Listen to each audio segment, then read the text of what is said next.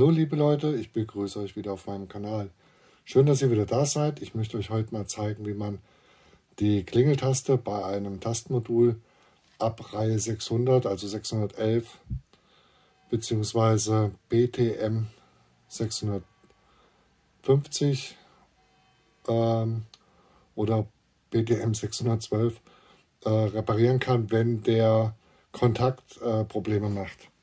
Und zwar ist das so, mal angenommen, die Klinge geht nicht. Ich habe das ja schon mal beschrieben in einem anderen Video. Ähm, da gibt es die verschiedenen äh, Möglichkeiten, mal nachzugucken. Unter anderem ist, ist die Möglichkeit dabei, wenn man drückt, muss es ja diesen hörbaren Klick geben. Und, und wenn es das nicht mehr tut, ich habe das jetzt hier mal manipuliert, dann hört man nichts mehr und die Klinge geht nicht mehr. In dem Fall ist innen drin was kaputt. Und zwar zeige ich euch das jetzt mal hier. Man muss das Tastenmodul rausnehmen. Dazu schaut bitte das Video, wie man die Vario 611 oder 650 öffnet mit dem Schlüssel. Nehmt das Tastenmodul also nach vorne. Das hängt ja dann sowieso noch am Kabel, kann nicht runterfallen. Und legt euch unter die Sprechanlage, entweder nehmt ihr es komplett ab, dass ihr es mit reinnehmt auf den Tisch oder ihr müsst draußen irgendwas unterlegen, wenn zum Beispiel steiniger Boden ist oder Gras. Denn wenn man das jetzt hier aufmacht, ich mache das einfach so mit, mit den Fingern, dann ist innen drin so ein, so ein Plastikdings. So, und da kann es sein, dass dieses, ich zeige es mal näher, dieses Dings, das gibt es in weiß, transparent und schwarz gebrochen ist. Und zwar ist normalerweise bei diesem Tastenmodul das Ding so hier drin. Moment, so. Und das löst diesen Klicker aus.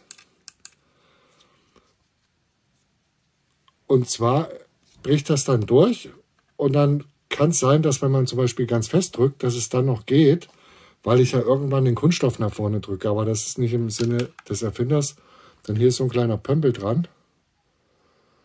Und der Pömpel soll das eigentlich dann bewegen. Und hier sind ja in der Taste dann die Gegenstücke. Jetzt gibt es mehrere Möglichkeiten, das zu reparieren.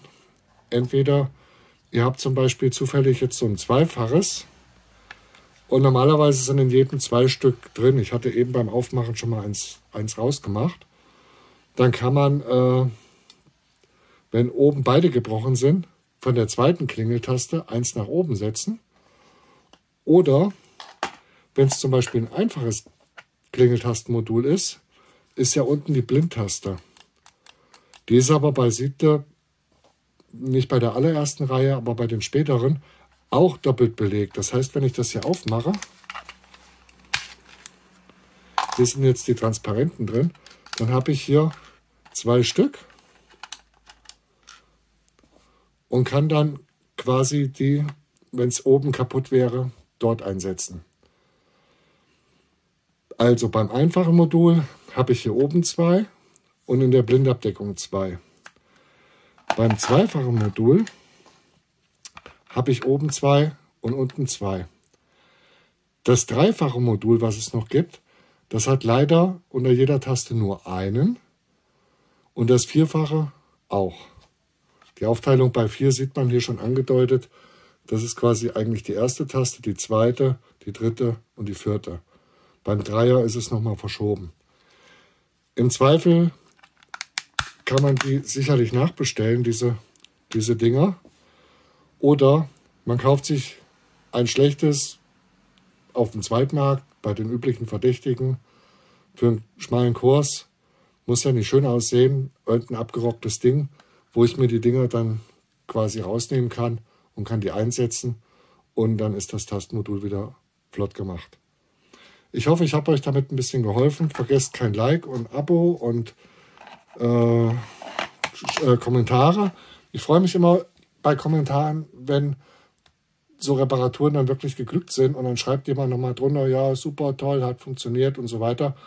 Das ermuntert auch immer ein bisschen weiterzumachen, weil äh, wenn ich dann gar keine Kommentare lese bei, bei den Videos. Ich meine natürlich auch Fragen, wenn einer noch technische Probleme hat. Ich kann es nicht zu 100% beantworten, aber ich versuche immer die meisten Kommentare auch zu beantworten. Dann schreibt die Probleme auch hin und versuche ich da meinen Senf dazu zu geben. Und wie gesagt, wenn es mal geklappt hat und ihr habt was repariert über meinen Kanal, dann freue ich mich auch. Dann schreibt es vielleicht auch mal unten rein. Vielen Dank fürs Zuschauen. Bis zum nächsten Mal. Euer Drahtfritze. Ciao.